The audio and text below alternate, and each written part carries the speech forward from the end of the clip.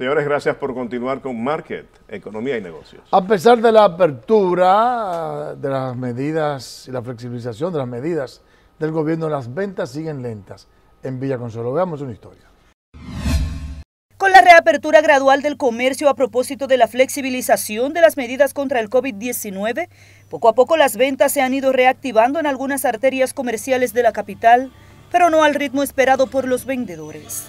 Se, se ha reactivado un poco, pero no, no, no con la misma perspectiva, o sea, no lo que uno esperaba, sino que se ha activado lentamente. Se tiene esperanza porque ya todo va aflojando y nos estamos recreando más o menos y hay esperanza de que nos aguantemos más. Vendedores informales de la populosa Villa Consuelo aseguran que las ventas siguen lentas, pese a la relajación del horario de toque de quedas. Sin embargo, esperan que en los próximos meses las ventas se dinamicen. No, un poquito lento todavía, pero un poquito más que antes. A veces disminuye en semana, a veces sube, pero todo bien, gracias a Dios. Hay que conformarse con lo que le, papá Dios le da a uno cada día, en que sea, se vende algo para comer y hay muchas cosas que bajan en la semana, hay muchas cosas que suben. Hay quienes atribuyen a la crisis económica generada por la pandemia la lentitud en las ventas. Está un poquito lento, está un poquito lento, aunque la venta ha mejorado un poquito, pero como quiera sigue lento, sabe que tiempo anterior uno vendía más, ahora la gente anda con más, más cohibido para comprar y para todo, y más que hay mucho desempleo también, muchos negocios que han, han quebrado y han cerrado. La venta todavía sigue lenta, pero ya uno puede estar abierto a su horario normal si uno quisiera, pero como está todo lento, uno se va al mismo tiempo que se iba antes, pero siguen lenta la venta. Estos comerciantes esperan que sus ventas mejoren para el Día de la Madre y que se sigan dinamizando para el próximo año escolar, que entienden deberá ser presencial. Gracias a Rosalba Escalante por esta información tan importante. Y en la ciudad colonial se ha ido recuperando su ritmo normal tras la flexibilización en los horarios de toque de queda, según información de residentes y comerciantes de esta zona. Nuestro compañero Víctor Erasme visitó el lugar y nos preparó el siguiente reportaje. Luego de que el gobierno flexibilizara las medidas que procuran controlar el avance del coronavirus, la actividad comercial de la zona colonial se ha ido reactivando de manera significativa.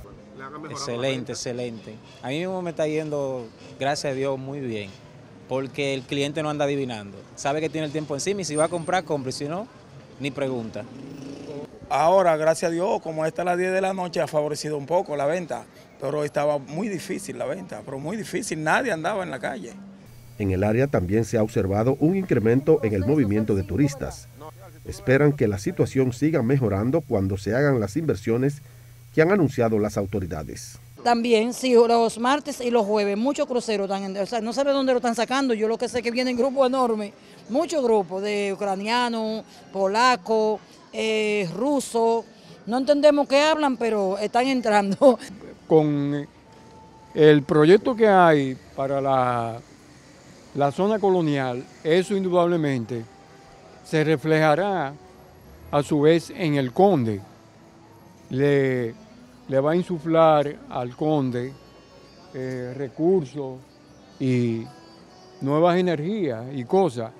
Comerciantes y lugareños confían en que próximamente la ciudad colonial volverá a tener el mismo movimiento que antes de la pandemia de coronavirus. Mira, para que tú veas, en un lugar está activo y en otro está lento. Pero dentro de poco todo estará bien. Si nos seguimos vacunando, dentro de poco todo volverá a la normalidad como volverá a todo el mundo. Pero una pregunta, ¿será que en la zona colonial están visitando más turistas? ¿Será por la, los turistas? Es posible, es posible. Recuerda que había con no van se, turistas, pero si, la zona colonial van turistas. Si se reactiva la actividad turística, especialmente en la noche, uh -huh. esa zona por ahí es tremenda. Sí, sí. Mira, la Federación Nacional de Trabajadores Textileros, Zonas Francas, Industria y Comercio anunció la firma de un acuerdo entre la ferretería americana y su sindicato de trabajadores con la mediación del Ministerio de Trabajo. Vamos a ver esta historia. Justo Carmona, presidente de Fentracas, dijo que el primero de los puntos acordados establece que la empresa pagará las prestaciones pre y postnatal a las mujeres que hayan dado a luz durante el proceso de suspensión y el pago de la tesorería de la Seguridad Social con el cual se restablece el seguro de salud a los trabajadores. La empresa se comprometió a más tardar el día de ayer pagar el 50% de los fondos que le debía a la, a la tesorería de la Seguridad Social, con lo cual a partir de hoy va a quedar restablecido el seguro de salud, el seguro familiar de salud para los trabajadores que tenían más de un año sin seguro. Carmona afirmó que ya fueron reincorporados 96 trabajadores y el restante, unos 412, serán reincorporados paulatinamente y se les pagará el 60% de sus salarios mientras sigan suspendidos. Y luego de la reincorporación, el 40% restante les será pagado en la nómina. Eh, a los trabajadores que se mantengan suspendidos la empresa, a partir del día 15 de mayo de este, de este mismo mes, empezará a pagarle el 60% de su salario en su casa, cosa que no había hecho la empresa eh, en todo el periodo de los 14, 15 meses que tienen los trabajadores suspendidos. Se le va a pagar el 60%. Ahora bien, el otro 40%, la empresa está comprometida a pagarlo una vez los reintegre. Con el acuerdo se pone fin a las protestas que estaban desarrollando en demanda de solucionar la situación que afecta a más de 508 trabajadores.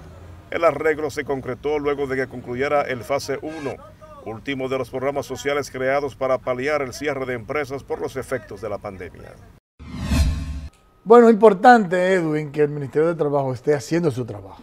Así es, así es. Algo que no había estado haciendo el Ministerio de Administración Pública, que ha dejado que una cantidad inmesurable de personas que han sido canceladas de manera injustificada. Primero, algunos tienen derecho a que lo cancelen, pero que le paguen su chelito. Claro, y otros han sido cancelados siendo empleados de carrera.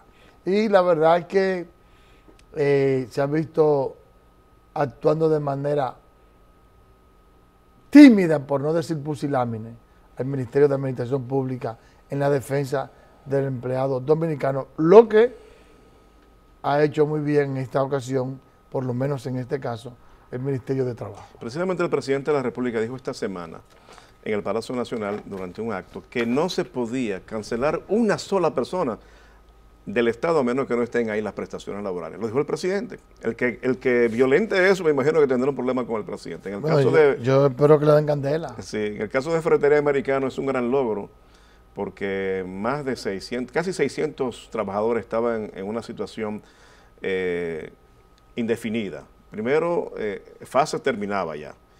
De ahí en adelante iban a quedar desprotegidos. No tenían seguro médico porque la empresa no estaba pagando los seguros. No tenía el tema de que si eran empleados o no lo eran, por eso estaban demandando sus prestaciones, pero la empresa acordó que, como decía la Estaban desahuciados. Prácticamente, prácticamente. Pero acordaron que a los que no se incorporen inmediatamente, luego de 96 que entraron ya, se les pagará el 60% de su salario mientras estén en sus casas. Cuando se reincorporen, se le prorrateará el 40% restante durante los próximos 12 meses y eso de verdad trae una tranquilidad para ese grupo de personas, definitivamente. Perfecto. Finaliza por el día de hoy Market, Economía y Negocios. Nos vemos en la próxima entrega. Así es.